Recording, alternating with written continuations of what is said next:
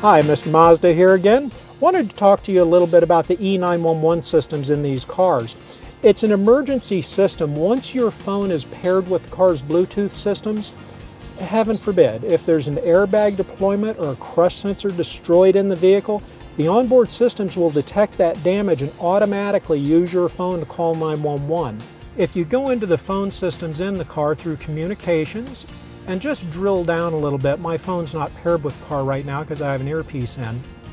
You can come down here into the settings and down at the bottom of the settings options, emergency assistance call. Definitely you want to make sure that checkbox is engaged. Again, it's for your safety. The car will actually call 911 for you if you're in an accident. I can speak to this one personally. Uh, January of last year, I was leaving a customer's house in Sarasota. I was T-boned. I was actually talking to my wife at the time over Bluetooth, hands-free. We were talking about dinner since I was on my way home.